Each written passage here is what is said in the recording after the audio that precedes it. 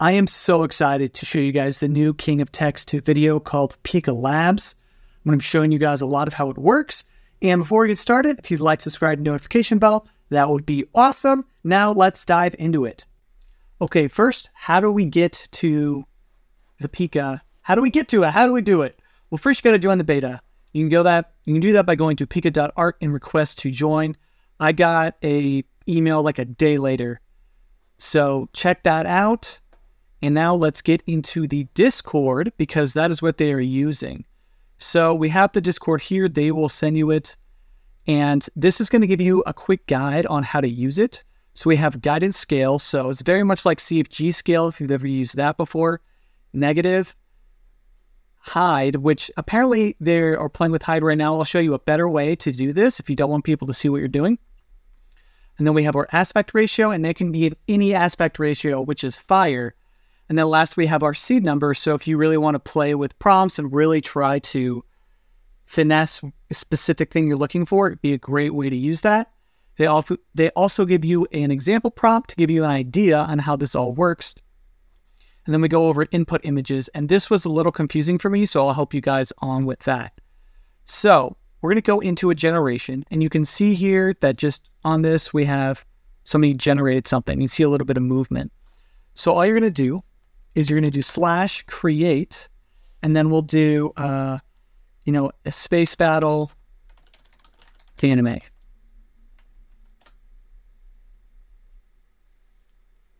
And it will, by default, do uh, aspect ratio of 16 by 9. And you can see everybody else and what they're doing in here, get an idea of what's going on, what works. I find this to be really useful to see what is going to work for me or what is not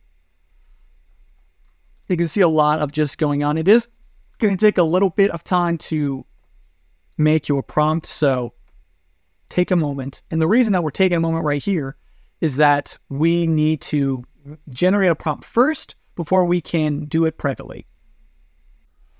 Okay, so now we have created a video. And then what you're going to do is you're going to go up to the top here and you're going to click on create thread. We're going to name it. We'll just call it my username here, light and lens, and I'll just type in test or just anything you want here. S, whatever, doesn't matter. So now we've made a new thread and you can look over in the generation side over here. We have it under light and lens. I'm now going to close this. And now we have a separate thread for us to do whatever we want. So now to create something, as you just saw, I just have to do create and then I can type in what I want. Now I have had some success when it comes to if I'm going to do the same thing, space, battle, anime, and then if I want to, uh, then I'll add in, you know, like high quality or sharp focus. And then if I want to do a negative, I get confused because it's a dash dash Midjourney, but it's just dash neg. And then we'll do blurry, out of focus. And then by default, it's uh, aspect ratio of 16 by 9. But if we wanted to make it 9 by 16, we would just do it in a similar way like this. And we would go ahead and then create that prompt. Now, let's say you've created an image in Midjourney or you have a photograph and you want to animate it. So to do that, it's a little different. And it took me forever to figure out it was not intuitive to me at all. So we have our create prompt, but then you need to click on this plus one more. It's not intuitive because it doesn't feel like a button and then we go to image. And now we can upload an image to what we're playing with. So I'm going to grab an image here of something that I've already made. We'll use this one. And we're just going to put in two people in love. And we'll just put in those qualifiers. I haven't really seen, sometimes it helps if I put these in. It hasn't always, so I don't know how effective these really are. Negative, we'll do blurry and out uh, focus. And then we'll go ahead and create that as a prompt.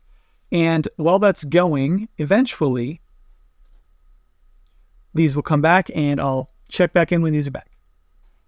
Okay, we're back, and this is the Space Battle anime with the aspect ratio of 9 by 16.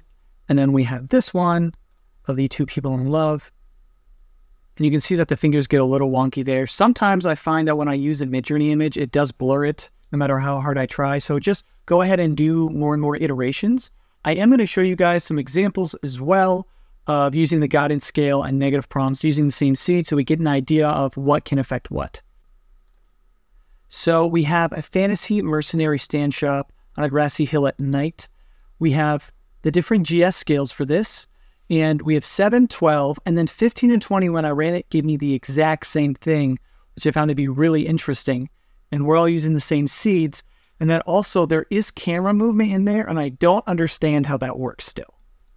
Now, if we're going to use negative prompts, I used a very long negative prompt in here while also using the GS scales, and I really didn't see a difference between the two.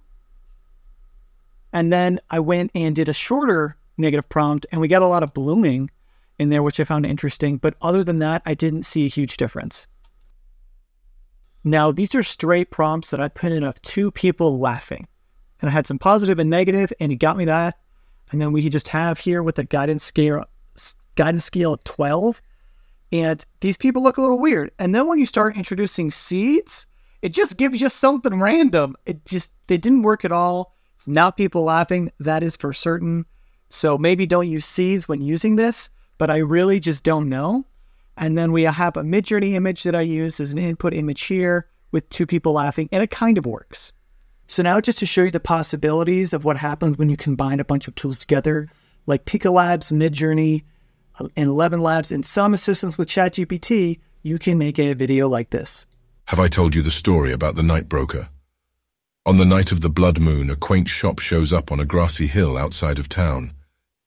He has all sorts of knickknacks for a price like the pocket watch that can rewind time, or the pendant with a portal to another world. But he has a special deal just for you. A camera that lets you revisit memories.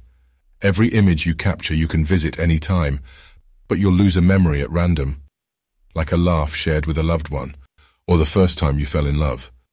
So choose wisely on what you capture, as they might not be the memories you keep. So we're going to go over some of the fails that I had. This was the Fantasy Mercenary stand shop on a grassy hill at night. The first iteration, I was like, yo, this is actually really cool for just straight text to video. Some of the things I didn't like, though, were either the weather or it was, you know, the time of day or like this motion looks like a drone shot pulling away, which is not what I wanted.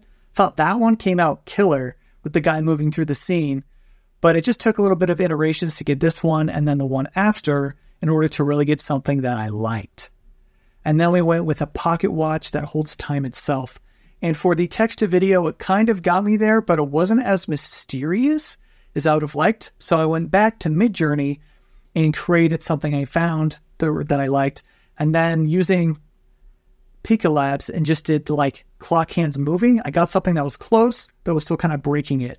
And then this was with a vertical version of the story that I did. And I used the same prompt, but then I just did clock hands moving and I went through a few iterations of this and I landed on this and was just blown away at how cool it is. And I really think that Midjourney is the way that we're going to want to go for a lot of this stuff and animating with Pika Labs. And then we have the necklace that has, you know, a pendant. And this was like the first take. And I was like, yo, we're done. I got it. But then I just did a few more to just see what would happen. And we got vastly different experiences that came out of it. None of these I really liked what they came out because I wanted that shop feel, and this just uh, that first one just ended up crushing it. Though I guess in retrospect, the vertical one doesn't have the wood shelf, but I still love how that came out and only took a couple iterations. Now, when I did a vintage Polaroid camera, moody lighting dark, it kind of got me there, but you know, the camera wasn't in frame all the way. So I was like, all right, back to Midjourney. Let me make something. And I ended up going with this image, and then I tried to do, you know, candle flickering with the Pika Labs with the text to video and you know the camera input. And you saw that there was like a hand that went in there. I'm not really sure what's going on. It was like breaking it, so I was like, I don't know what this is, but we're gonna try.